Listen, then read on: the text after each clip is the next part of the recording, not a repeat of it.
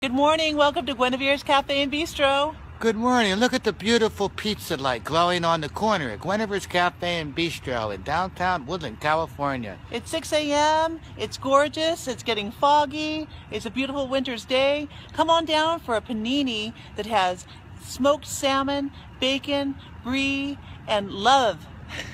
You know what? There's a lot of magical things that happen on this corner at Dead Cat Alley. And, um, you know, my wife's here during the day, and I'm here on weekends doing the Italian cooking. I just got to tell you, come on down and enjoy the good food and the magic that's happening at Guinevere's Cafe and Beach.